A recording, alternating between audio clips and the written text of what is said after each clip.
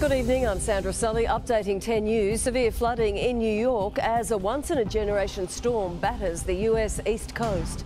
Cheaper flights have been promised as Virgin Australia takes control of Tiger Airways. Royal North Shore Hospital shows off its new helipad. And Target goes upmarket with a new line from Italian designer Roberto Cavalli. Stay on 10, more news in the hour.